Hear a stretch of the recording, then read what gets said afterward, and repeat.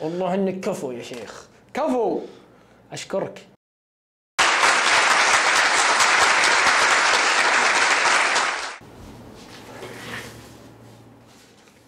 المحور الفرنسي فوفانا. ماذا عن هذا اللاعب الذي يلعب في نادي لانس الفرنسي؟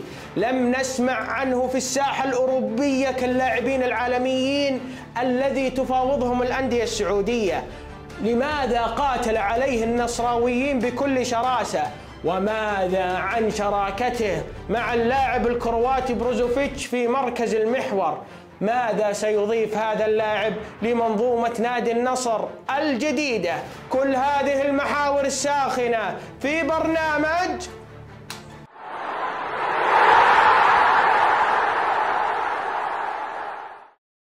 السلام عليكم ورحمة الله وبركاته وأسعد الله أوقاتكم بكل خير.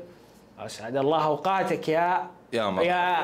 يا مرحبا. القناة. يا مرحبا والله بعاصم. يا هلا. والله ومسهلا. يا هلا وغلا. فوفانا ها؟ إي والله فوفان طيب قبل فوفانا. ممتاز.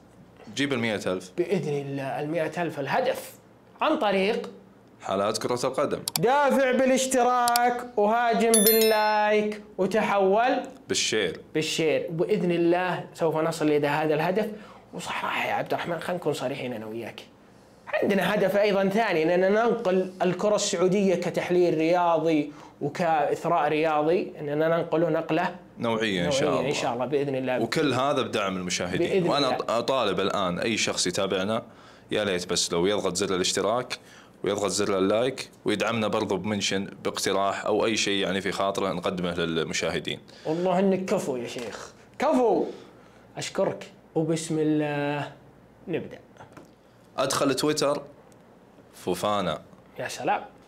إنستغرام. النصر يفاوض فوفانا. أطلع على اليوتيوب. المشاهير الممثلين النصر يفاوض فوفانا. لا، لا. لا لاعب النصر الجديد فوفانا. قعدت أفكر أقول يا أخي فوفانا أول مرة. أسمع فيه للأمانة أول مرة أسمع فيه إيه.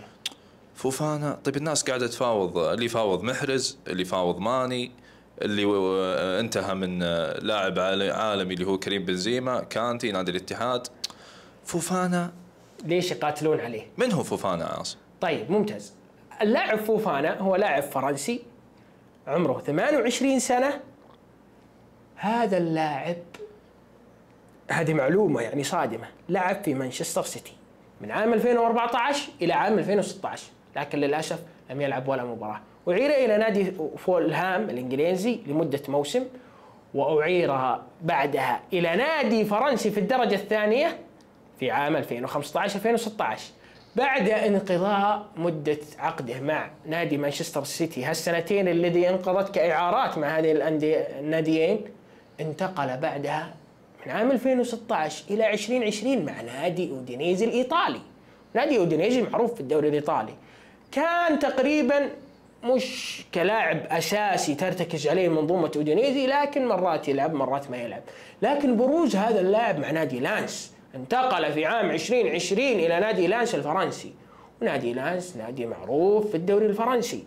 لمن يتابع الدوري الفرنسي بعد انتقال مين؟ بعد ميسي. انتقال ميسي إيه، وجود مبابي ونيمار. إيه فالنادي لانس نادي معروف. خاصة آخر سنة في الدوري الفرنسي هذا اللاعب من أكثر اللاعبين البروزا في الدوري الفرنسي. ممكن أنك تحط بعض نجوم باريس سان جيرمان المعروفين هذا اللاعب. يعني له يشيع له يعني له أصداء في الدوري الفرنسي. جدا. أول شيء السبب. تخيل أنه بعد انقضاء موسم الدوري الفرنسي هو لعب تقريبا 34 مباراة. أخذ تقييم سبعة فاصلة عشرة كتقييم عام بعد نهاية الموسم. أنت لما تجيب تقييم سبعة فما فوق ترى كنت لاعب كويس. تخيل أن جاب هذا اللاعب تقييم سبعة. كتوتال كامل معناته هو لاعب ما هو بعادي للامانه اي بس يجيك البعض يا عاصم يقول يا أخي الدوري الفرنسي بعضهم يسقط يقول الدوري الفرنسي دوري فلاحين ومن هالكلام. وشوف لما تقارنه بالدوريات الخمسة الكبرى هو الأخير كترتيب أكيد. لكن ممكن بعض الناس تفضل البرتغالي على الفرنسي بالاخير اللي رفع أسهم الدوري الفرنسي ترى النجوم اللي يستقطبها باريس سان جيرمان. هذا بالنسبة للاعب فوفانا. تفضل. طيب يا عاصم الآن لما نجي نفصل اللاعب. نادي النصر راهن عليه وجاب هاللاعب ووقع معاه ممتاز. المدرب الجديد لنادي النصر كاسترو كيف راح يوظف هذا اللاعب في هذه المنظومة؟ خصوصا بعد ال ال انضمام اللاعب المعروف الكرواتي آه، بروزوفيتش لا المدرب كاسترو مدرب يؤمن كخطط في الملعب بثنائي بالمحور. محور تقليدي رقم ستة ومحور رقم ثمانية. أنت محور رقم ستة حليته. جبت من أعظم المحاور في العالم بروزوفيتش. رقم ثمانية لماذا قاتل عليه النصراويين؟ هذا اللاعب فوفانا. لاعب رقم ثمانية لكن بنمط مختلف نوعا ما. بتقول لي كيف؟ هذا اللاعب سجل في الموسم الماضي مع نادي لانس ولما تقارن لانس ومنافسته في الدوري ما تقارنه ب- ب- ب- بأندية مثل باريس سان جيرمان مثلا. سجل هذا اللاعب سبع أهداف. صنع خمس أهداف. من هذه الإحصائية وش تبين لك إنه لاعب وسط؟ إنه تسجيله أكثر من صناعته. صح ولا لا؟ صح. هذا اللاعب حل تهديفي عظيم لأي فريق. لما تلاحظ لما تلاحظ لاعب زي فوفانا لما يستلم الكورة هو لاعب يسمى لاعب يسمى مصطلح في في الكورة رانر لاعب راكض يمسك الكورة ويركض فيها. عنده هذه الإمكانية إنه يمسك الكورة في أي مكان في الملعب ما يتخلص من الكورة تحت الضغط مثلا إنه يباصي إنه مثلا يدور على الكورة يدور على نفسه لا هو يمسك الكورة يقدر ينطلق فيها يقدر يخترق عمق الملعب كامل. وف- وفي ميزة عاصم برضو ال- البنية الجسمانية للاعب. يعني ما شاء الله إذا جاك لاعب يركض وفي نفس الوقت بنية جسمانية هذا قاعد يكسر خطوط الدفاع. ممتاز. أنت تعرف لاعب الهلال معروف. موسى مريقا معروف. هذا لاعب زي موسى مريقا في مركز المحور. أنت لما تشوف موسى مريقا يمسك الكورة ويروح يركض يركض يركض صح؟ هذا اللاعب زي موسى مريقا لكن كلاعب محور. حلو التشبيه. يمسك الكرة ينطلق فيها في العمق يراوغ. عنده ترى قدرة عالية في المراوغة. معدلات مراوغاته عالية جدا. لاعب مراوغ ولاعب يقدر يركض ولاعب قدمه تعرف طريق المرمى ولاعب دائما جريء في التسديد فبيحل مشكلة ممكن يعاني منها فريق النصر لما تتقفل عليه بعض الأمور. يقدر هذا اللاعب مع تاليسكا إنهم يحلون هذه المشكلة. طيب الآن يا عاصم لما نتكلم عن بروزوفيتش ممتاز. وعن اللاعب فوفانا. أنت تعرف مثلا المدرب الجديد لما بيلعب مثلا بيفتح عرض الملعب بالأظهرة أو سواء بالأجنحة لكن خلينا نتكلم عن الأظهرة. ممتاز. مين اللاعب اللي من هذين اللاعبين اللي هو بروزوفيتش أو فوفانا اللي ممكن عنده الإمكانية أن يغطي ما ما خلف الأظهرة؟ أنا أقول لك لعب تقليدي محور ستة ومحور ثمانية. بروزوفيتش يعني. بروزوفيتش بيكون مسؤول عن المساحات بيكون مسؤول عن التصعيد بالكرة طبعا زينة إنه هذه الثنائية ثنائية عظيمة. لما تقارن مثلا كانتي وفابينهو ثنائية فيها في تخاطب تشابه الصفات. اي في تشابه صفات في تخالط أدوار. فهذه بترجع للمدرب. لكن هذه الثنائية مفصولة. ستة وثمانية. اي بروزوفيتش بخصائص وفوفانا بخصائص أخرى مختلفة تماما. بروزوفيتش ما يسدد ولا ولا يقدر يعطيك حلول تهديفية ولا يقدر يعطيك مثلا إنه يزيد لك كأنه مثلا يكون حل تهديفي أو عنصر مفاجأة. ما يقدر ما يسويها بروزوفيتش ومستحيل يسويها إنك تقدر تغير مركزه. لاعب ستة بامتياز بإحكام وهذا لاعب ثمانية بإحكام. طب راح نشوف نقلة نوعية. هي بروزوفيتش ما عليه كلام. بس مركز الرقم ثمانية. راح نشوف نقلة نوعية عن الموسم الماضي؟ إيه هذا اللاعب بيسوي نقلة نوعية لأنه أنا أعتقد إنه هذا هذا اللاعب أول لاعب ممكن يجي لدورينا عنده هذه الخصائص. لاعب ثمانية وراكض راكض يمسك الكورة يقدر يخترق هذا اللاعب ممكن لما تشوف لاعب مثلا عالمي ممكن تشبهه فيه ممكن تشبهه مثلا كوفازيتش. كوفازيتش لاعب تشيلسي والمنتقل إلى نادي مانشستر سيتي. هذا اللاعب لما يستلم الكورة يقدر يخترق الملعب. إنه يقدر يركض بالكورة. ها أيضا ممكن تشبهه بيايا توريه. يايا توريه أيضا عنده هذه القدرة. طبعا يايا توريه مع بطء على البطء طبعا بيايا توريه هذا لاعب سريع أسرع من يايا توريه. فهذا اللاعب أول لاعب يأتي بخصائص زي كذا في دورينا. فأنا صراحة متحمس لثنائيته مع بروزوفيتش صراحة. للأمانة يا عاصم يعني لاعب بهالبنية الجسمانية وإنه لاعب راكض ولاعب مهاري للأمانة راح يحل مشاكل كثيرة بنادي النصر خصوصا في الوسط وراح نشوف تنافس قوي جدا في الدوري السعودي الموسم القادم من ناحية خانات الوسط أوه شوف خامات. شوف الهلال مين جاب شوف الاتحاد مين جاب والنصر خامات. الآن قاعد داخل بقوة يمكن يجيك الأهلي بعد فبيكون يعني الوسط الموسم الجاي حريقة اي بس يقولون. عاد كيف تطلع أفضل ما هذه من هذه اللاعبين لكن أنا الصراحة عبد الرحمن فوفانا وتاليسكا فوفانا يحب ال- ال- الأماكن اللي يلعب فيها تاليسكا كيف بيوظف تاليسكا وفوفانا إنهم كيف بيتشاركون بعض الأدوار؟ طبعا أنا قلت طيب تلسكا خلف مهاجم.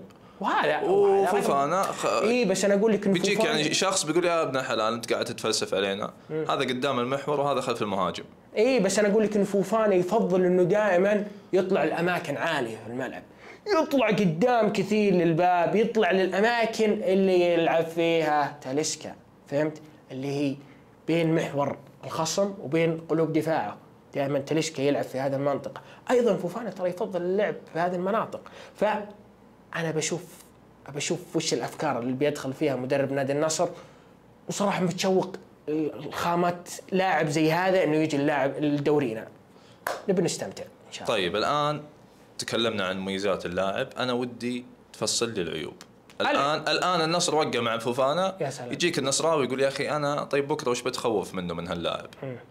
كثير من الناس تكلموا عن المميزات لاعب مهاري وشفنا المقاطع لكن نبي نعرف وش السلبيات. الأشياء اللي آه، تعيب هذا اللاعب. طيب فوفانا. تخيل إنه فريق النصر قابل فريق قاعد يلعب على مفاتيح اللعب.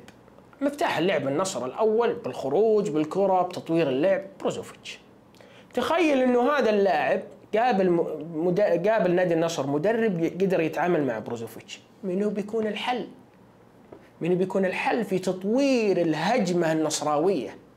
في عملية التدرج بالكرة. إذا أنت قفلت على بروزوفيتش هنا تكمن مشكلة نادي النصر. لاعب فوفانا ما يقدر يقوم بهالدور. ها- هنا هنا المشكلة. أيضا تاليسكا ما يقدر يقوم بهذا الدور. فأنا أقول لك إن هذه ثنائية تقليدية بامتياز ستة بإحكام وثمانيه يعني يمكن بإحكام. يجيك مدرب ذكي يقول يا أخي أنا الآن بركز على بروزوفيتش ممكن إنه هذا يكون آه، نقطة ضعف لنادي النصر لا تحسب اني عاد أنا داهي إني أعطيت لا لا خلطة سحرية لا لا يا. عاصم شوفوا يا متابعين ترى البرنامج كله عبارة عن وجهة نظر وجهة نظر واجتهاد وجهة نظر ممكن. نكون مخطئين ممكن نكون مصيبين هذا شيء يعني يرجع لل بس أنا أمزح. معك أنا أقول لك إني أنا قلت اني جبت الخلطة السحرية عاد الحين ببيعها على من يوم ما. أخذت رخصة التدريب ما تشوفني شيء تفضل هذا اجتهاد طيب يعني انت تشوف هذه نقطة ضعف لنادي النصر لما اركز إيه. على بروزوفيتش ممكن يكون في خلل اي لأن. لأن اللاعب زي زي ما قلت لك فوفانا ما عنده هذه الخصائص ترى مرات لاعب المحور الرقم ثمانية عنده يجمع بين خصائص الافتكاك صح، ستة وثمانية. اي وخصائص إنه يقدر يطور الهجمة وخصائص الرؤية وخصائص وخصائص يجمع بين خليط من هذا وهذا وهذا مشكل بس انه يبرز في حاجات أنا أقول لك فوفانا عنده الحدة بالزيادة عنده الحدة بالركض عنده الحدة بالقوة الجسمانية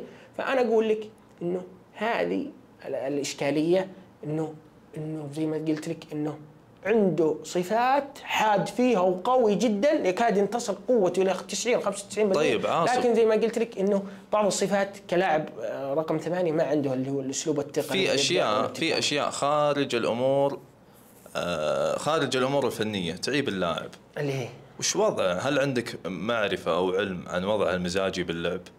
طبعا آه، وضعه مثلا بالكروت الحمراء الصفراء شوف لما تتكلم عن لاعب يلعب بالدوري الفرنسي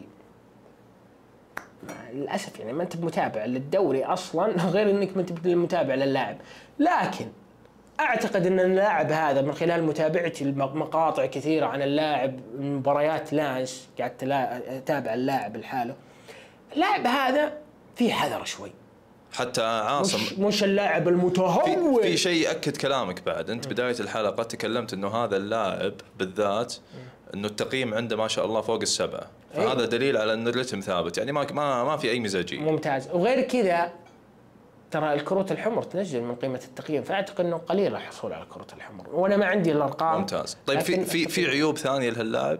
زي ما قلت لك إنه جامع صفات وقوي فيها بس ما عنده الصفات الثانية. ممتاز ممتاز. بس. أه، باختصار سؤال إي أو لا؟ صفقة ناجحة نادي النصر؟ صفقة ناجحة للنصر وناجحة للدوري إنه أول لاعب أول مرة لاعب يجينا بهالخصائص. ممتاز. فأنا متشوق إني بشوف اللاعب في الدوري. ممتاز. إن شاء الله نشوف دوري قمة الإثارة إن شاء الله لجميع الأندية. يعطيك العافية الله. يعطيك العافية ويا. متابعين. الله يعطيكم العافية. حنا لنا هدف نوصل مئة ألف مشترك. بإذن الله. وهذا ترى ما يجي إلا بعد توفيق الله سبحانه وتعالى ثم دعمكم. وعن طريق؟ خل عن طريق اصبر يا ابن حلال. الآن أي شخص يتابعنا الله لا يهينه. زر الاشتراك وزر اللايك. وأي شيء أي ملاحظة في هذه الحلقة أو أشياء حابين نضيفها مستقبلا يكتب بال mention بالتعليق. وشاكرين لكم حسن الاستماع والمتابعة. وهذا الشيء ما يتحقق إلا بحالات كرة القدم الثلاث. دافع بالاشتراك وهاجم بال like وتحول. بال share. ونشوفكم الحلقة الجاية إن شاء الله. وسلام. عليكم.